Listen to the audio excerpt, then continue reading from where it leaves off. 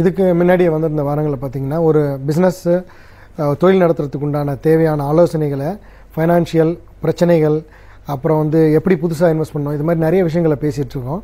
அதில் வந்து போன வாரம் பார்த்தீங்கன்னா ஒரு ஒரு ஒரு நிறுவனம் நடத்திக்கிட்டு இருக்காங்க. அவருக்கு வந்து ஒரு ப்ராப்ளம் வருது. அந்த பிஸ்னஸ் சம்மந்தப்பட்ட ப்ராப்ளம் பிஸ்னஸ் சம்மந்தப்பட்ட ப்ராப்ளம்னா நிறைய இருக்குது அதில் வந்து ஒன்று finance problem marketing problem finance ப்ராப்ளம்னா நிதி பற்றாக்குறை இல்லை நிதி இல்லை. ஃபைனான்ஷியல் மார்க்கெட்டிங் ப்ராப்ளம்னா பிஸ்னஸ் இருக்குது இல்லை பிஸ்னஸ் அதிகமாக இருக்குது பணம் இல்லை. அது சம்மந்தப்பட்டது இது மாதிரி அது மாதிரி ஒரு நோட்டீஸ் வரதோ இல்லை ஒரு டிபார்ட்மெண்ட்லேருந்து நோட்டீஸ் வருதோ அந்த மாதிரி நிறைய விஷயங்கள் இருக்குது இதை வந்து எப்படி ஆராயணுங்கிறத பற்றி பேசியிருந்தோம். ஸோ அதில் வந்து நம்ம என்ன சொல்லியிருந்தோம்னா மெயினாக ஒரு ப்ராப்ளத்தை வந்து வந்திருக்குன்னா அந்த ப்ராப்ளத்தை பற்றியே பேசிக்கிட்டு இருக்கிறாம அதுக்கு உண்டான அணுகுமுறைகள் ப்ராப்ளத்தை தீர்க்கக்கூடிய வந்து அணுகுமுறைகளை பார்க்கணும். அதுக்கு தேவையான ஸ்பெஷலிஸ்ட்டை வந்து அணுகி இதை எப்படி ஃப்யூச்சரில் தடுக்கலாங்கிறத பார்க்கணும். ஸோ இதில் எக்ஸாம்பிள் பார்த்தீங்கன்னா ப்ராப்ளம் நம்பர் ஒன் இதில் வந்து ஜென்ரலாக பேசிக்கிட்டு இருந்தோம் இப்போ ஸ்பெசிஃபிக்காக பேசுவோம்.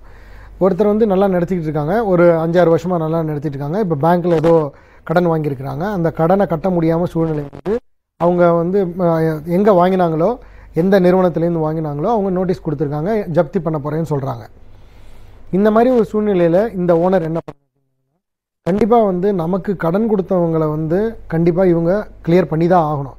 கடன்லேருந்து தப்பிக்க முடியாது. ஸோ கடன்லேருந்து தப்பிக்காமல் இருக்கிறதுக்கு முதல்ல நம்ம என்ன பண்ணியிருக்கணும்னா தேவைக்கு அதிகமாகவோ டேர்ன் ஓவருக்கு அதிகமாகவோ பணம் வாங்கியிருக்கக்கூடாது நிறைய டைமில் பார்த்தீங்கன்னா இந்த மாதிரி பிரச்சனை வரைகிறதுக்கு ஒரே ஒரு காரணம் பிஸ்னஸ்னால பிரச்சனைகள் வந்திருக்காது. என்ன பண்ணியிருப்பாங்கன்னா ஒரு பர்டிகுலர் அமௌண்ட்டை வந்து பேங்க்லேருந்து வா பேங்க்லேருந்தோ ஏதோ நிறுவனத்துலேருந்தோ வாங்கியிருப்பாங்க.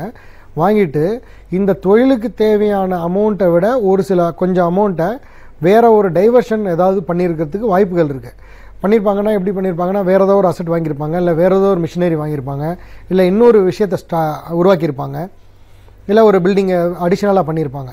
ஸோ என்ன ஆகுதுன்னா நம்ம என்ன லோன் வாங்கியிருக்கிறோமோ என்ன தேவைக்கு வாங்கியிருக்கோமோ அதை மட்டும் ஹண்ட்ரட் பர்சன்ட் நம்ம பண்ணியிருந்தோம்னா இந்த பிரச்சனைகள் வந்திருக்காது. ஸோ இப்போ வந்திருக்கும்போது இதை ஒன்று ஃபஸ்ட்டு இதை நம்ம ஆராய்ஞ்சிக்கணும். இன் ஃப்யூச்சரில் வந்து இதை மாதிரி நடக்காமல் இருக்கிறதுக்கு நம்ம என்ன பண்ணலாங்கிறத நம்ம முதல்ல முன்னாடியே தெரிஞ்சுக்கணும். இதுக்கு ஒரே ஒரு காரணம் நம்ம என்ன என்ன பண்ணணும்னா எப்போ கடன் வாங்கும்போதோ ஒரு தொழில் நிறுவனத்தை வந்து அபிவிருத்தி பண்ணுறதுக்கு உண்டான பணத்தேவைகள் வந்து முதலீடாக இருந்தாலும் சரி கடனாக இருந்தாலும் சரி அதிகப்படியான கடனோ இல்லை வாங்கியிருக்கிற கடனோ வாங்கியிருக்கிற முதலீடோ கடன்லேருந்தோ டைவர்சிஃபை பண்ணக்கூடாது.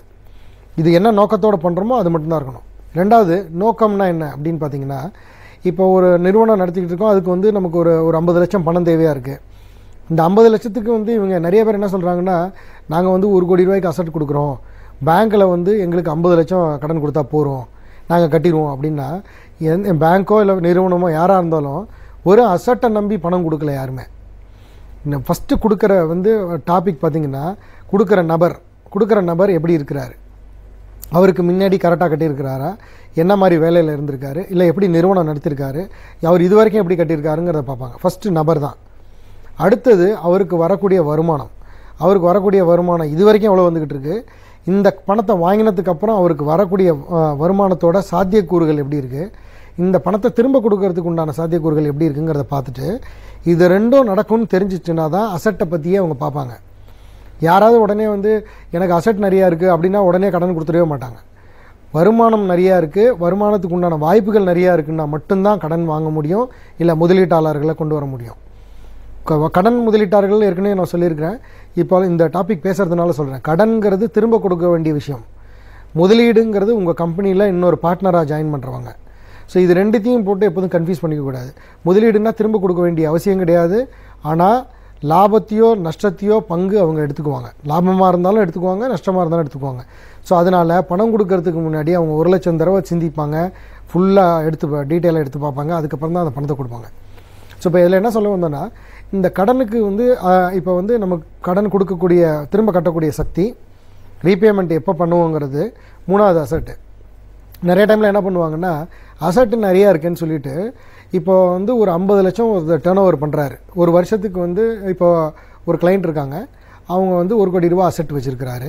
ஐம்பது லட்ச ரூபா கடன் கேட்குறாரு அவரோட டேர்ன் ஓவர் ஒரு கோடி ரூபா இருக்குது ஒரு வருஷத்துக்கு. முதலில் ஒரு ஒரு கோடி ரூபாங்கிறது ஒரு மாதத்துக்கு அப்ராக்சிமேட்டாக எட்டு லட்ச ரூபா டர்ன் ஓவர் பண்ணுறாங்க இது வந்து ஒரு மீடியமோட ஒரு ஸ்மால் கம்பெனிஸ் வச்சுக்கலாம். ஈவன் ஒரு ரெஸ்டாரண்ட்டை நடத்தினா கூட இந்த லெவலுக்கு வரும். இப்போ பார்த்தீங்கன்னா அவரோட லாபம் வந்து ஒரு பத்து பர்சன்ட் இருக்குன்னு வச்சுக்கிட்டிங்கன்னா ஒரு வருஷத்துக்கு அவரோட லாபம் பத்து லட்ச ரூபா. இதுதான் அவரோட மார்ஜின் இது நெட் மார்ஜின் கிராஸ் மார்ஜின் பார்த்தீங்கன்னா பதினஞ்சு பர்சன்ட் வச்சுக்கோங்க. இல்லைன்னா ஒரு பதினஞ்சு லட்ச ரூபா வச்சுட்டா கூட. இப்போ இவர் வந்து ஐம்பது லட்ச ரூபா கடன் கேட்குறாரு. அப்படின்னா ஐம்பது லட்ச ரூபாய்க்கு ஒரு வருஷத்துக்கு மினிமம் ஏழரை லட்ச ரூபா வட்டி கட்டி ஆகணும். ஏழரை லட்ச ரூபா வட்டி கட்டி ஆகணும். இந்த ஐம்பது லட்சத்தை பத்து வருஷமாக இல்லை அஞ்சு வருஷமாக பிரித்தா கூட ஒரு வருஷத்துக்கு ஒரு பத்து லட்ச ரூபா கட்டி ஆகணும். ஸோ இவருக்கு ஒரு வருஷத்துக்கு பதினேழு லட்ச ரூபா லட்ச ரூபா பணம் தேவையாக இருக்கும். இந்த அஞ்சு வருஷம் ரீபேமெண்ட்டுன்னு பார்த்தீங்கன்னா நான் சொல்கிறது ரொம்ப ரொம்ப சாதாரண கேல்குலேஷன் இது வந்து நீங்கள் சொன்னதில் வந்து இந்த பர்சன்டேஜ் வேரி ஆகுது இந்த மாதிரி மெத்தட் இல்லை அப்படிங்கிறதுலாம் இல்லை. ஒரு ஜென்ரல் கேல்குலேஷன் அப்படி பார்க்கும்போது ஒரு பதினேழு லட்ச ரூபா இவருக்கு தேவையாக இருக்குது ஐம்பது லட்ச ரூபா கடன் வாங்குற கடன் வேணும்னு நினைக்கிறவருக்கு ஒரு கோடி ரூபா அதை அதாவது டேர்ன் ஓவர் பண்ணுற ஒருத்தருக்கு. ஸோ இப்போ இந்த ஐம்பது லட்ச ரூபா கடன் வாங்கினா கண்டிப்பாக இவரால் கட்டவே முடியாது. ஏன் கட்ட முடியாதுன்னீங்கன்னா அவரோட டோட்டல் வருமானமே பதினஞ்சு லட்சம் தான். நெட் வருமானம் பத்து.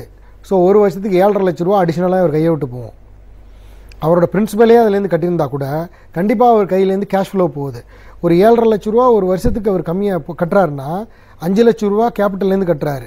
இந்த வருஷம் இருக்கிற அவரோட அஞ்சு லட்சம் ஐம்பது லட்ச ரூபா முதலீடு அடுத்த வருஷம் அவர்கிட்ட நாற்பத்தஞ்சு லட்சம் தான் இருக்கும். ஸோ கண்டிப்பாக ஒரு மூணு வருஷத்தில் இவர் பெரிய ப்ராப்ளத்தை ஃபேஸ் பண்ணுவார். கடனை கட்ட முடியாது இன்ட்ரெஸ்ட்டை கட்ட முடியாது. கொடுத்துருக்கிற நிறுவனங்கள் வந்து இவர் பேரில் ஆக்ஷன் எடுப்பாங்க. ஸோ இந்த மாதிரி சூழ்நிலையில் இவர் என்ன பண்ணியிருக்கணும்னா என்ன கடனை கட்ட முடியுமோ அதுக்கு தக்க லோனை எடுத்துருக்கணும். ஸோ இப்போ எனக்கு வந்து இல்லை சார் எனக்கு கண்டிப்பாக இந்த பணம் வேணும். இதுக்கு வந்து ஏற்ற மாதிரியே நீங்கள் ஒரு வழியை சொல்லுங்கள் அப்படின்னீங்கன்னா இதுக்கு ஒரு சில கால்குலேஷன்ஸ் இருக்குது இது எப்படி பண்ணலாங்கிறத இதுக்கு மேலே வர வாரங்களில் நான் உங்களுக்கு இன்னும் இன் டீட்டெயிலாக சொல்கிறேன் ஸோ அதுக்கப்புறம் அதுக்கு ஏற்ற மாதிரி நீங்கள் உங்களோட நிறுவனத்துக்கு இந்த நம்ம சொன்ன பதிலிருந்து ஒரு சில விஷயங்களை தேர்ந்தெடுத்துக்கிட்டு நீங்கள் நல்லபடியாக நடத்துறதுக்கு வாய்ப்புகள் இருக்குது நன்றி வணக்கம்.